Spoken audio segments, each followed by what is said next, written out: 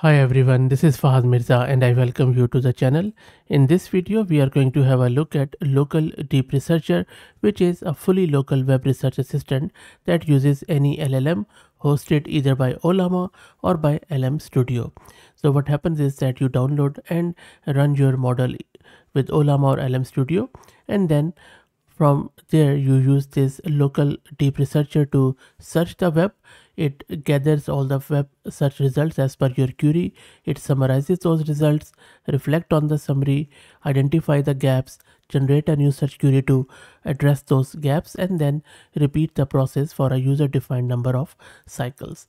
And then at the end it gives you a final markdown summary with all the sources used to generate that so let's get it installed and we will see how it works before that, let me also give a huge shout out to Massed Compute who are sponsoring the VM and GPU for this video. If you're looking to rent a GPU on very affordable prices, you can find the link to their website in video's description. Plus, I'm also going to give you a discount coupon code of 50%. This is my GPU card which I'm using, which is NVIDIA RTX 6000 with 48 GB of VRAM. And this is my VM, which is Ubuntu 22.04. Let me clear the screen. So first up what we need to do is to git clone the repo of this local deep researcher and I have seeded into it. And then we need to make sure that we have some local LLM running. For the local LLM, I'm going to use Ollama. If you don't know what Ollama is, it is one of the fastest, fastest and easiest tool to run large language models locally. I have covered it in thousands of videos, so please search the channel. In order to download, all you need to do is to just click on this download button and grab it either for Linux, Windows or Mac. And then for the model, I'm just going to go with a distilled model of DeepSeek R1 and I'll just grab one of these. So in 8 billion format. So I'm just going to go back to my terminal and I already have Ollama running by the way. So I'm just going to download this DeepSeek R1 8 billion model. And the size is just under 5 gig because it's a quantized model. It is going to download it and then it is going to verify the checksum and we should be good to go. And the model is downloaded and almost there okay so everything is done let me now rename my environment variable file where we need to specify our model let me open it in vs code and show you how it looks like so this is the environment variable file. You can see that by default it uses that uh, DuckDuckGo browser, which is again a free one, but you can use Perplexity or SearXNG, which we already have covered on the channel. I'm just going to keep it as is. And then for the rest of the lot, what I'm going to do, I'm just going to change these lines. If you want, you can use LM Studio, but I'm just going to use Ollama. And there you go. So I believe we already have the last line so I'm just going to remove this. And that's about it. So this is a model which we have downloaded as you can see here. So if I go here to Ollama list you will see that we have this model and then this is a LLM provider and this is a default. If your Ollama is running on any other port or any other remote system just replace the local host with that IP or DNS name of course. Okay so let me save it and then let's go back to our terminal. Let's clear the screen and now let me create a virtual environment. With python i'm just going to go with virtual environment the virtual environment is created we can activate it by simply sourcing it and you can see that now we have stepped into it as shown by these parentheses on the left and now we need to use uv package manager in order to install uh, this local deep researcher from the root of the repo. I believe I already have it, but if you don't, simply run this command. This is going to download the latest version of UV, so it is already installed. Okay, so that is good. Let me clear the screen.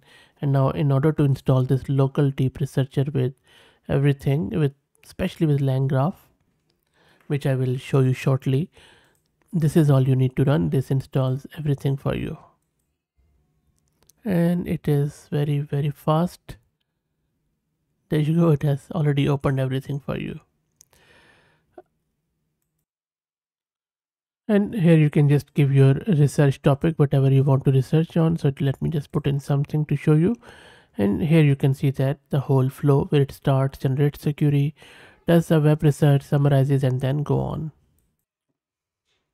So i'm just going to ask it maybe what is the capital of fiji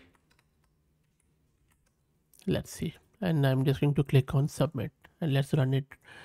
In real time it's generated the query and then did the web research summarizing the sources on the right hand side. It is also uh, showing you what it is doing. So wow it has reflected on the summary finalized the summary and this is so the capital is suva.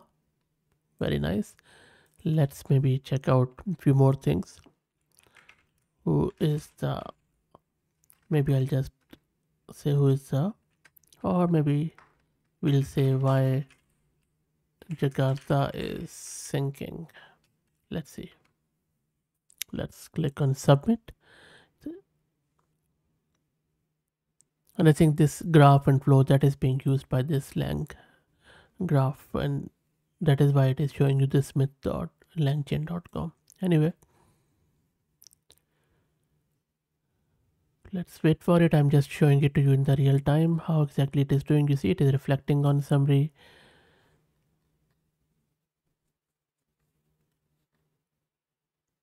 so this is where it is doing all the bbc report and everything.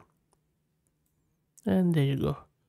So this is the whole stuff why jakarta is sinking. So pretty good tool i would say. Pretty impressive in terms of running everything locally and it is just using the distilled r1 in 8 billion and the model is also small.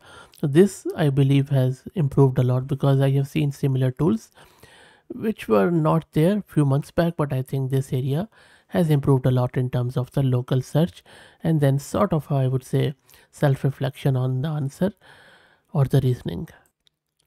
And you can do a lot of other things. For example, maybe we can do a real-time one. I'll say, what is ASX futures today? And then let's see if it is able to do the real-time search from ASX. I'm just, so if you click on this view state it is also going to show you the state.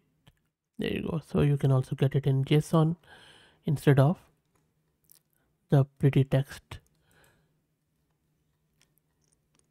so it is generating the query. There you go. It has given you something.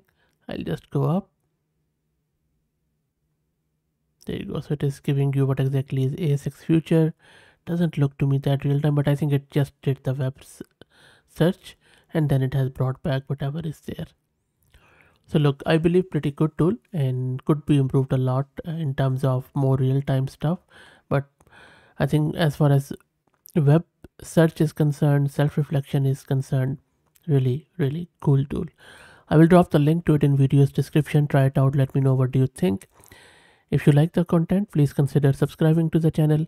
If you're already subscribed please share it among your network as it helps a lot. Thank you for watching